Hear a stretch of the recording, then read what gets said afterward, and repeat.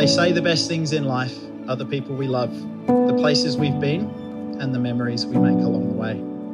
While I've known this for a while, it has never been more true that it's not about what we have in our lives, but who we have.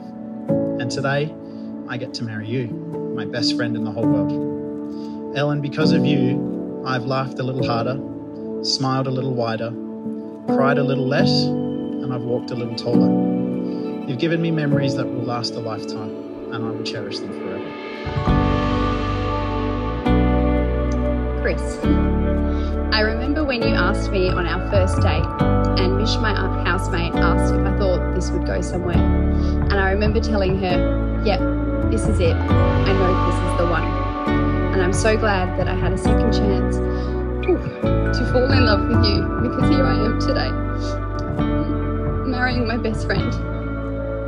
We've been through a lot together, and through those challenges, we have faced them as a team and only strengthened our relationship.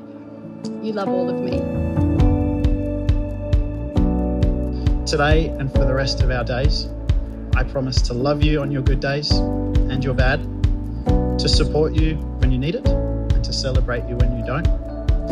I promise to protect you, to be open and honest with you, and last but not least, I promise to never stop making great pun jokes.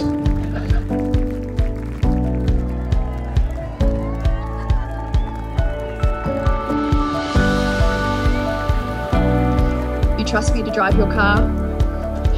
You constantly tell me how good my singing is, even though we both know I sound like a dying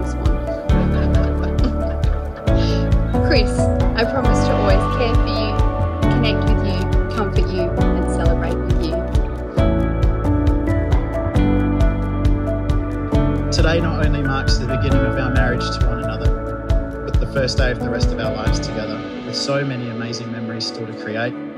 Starting today with the people we love right here. Ellen, I love you with all my heart, and I can't wait to marry you. I promise to laugh at at least 20% of your pun jokes and ask how your dream team is going. I promise to shoo away all the bees that try and fly towards you. And I promise to make sure we always make time for each other, whether be going out for dinner or watching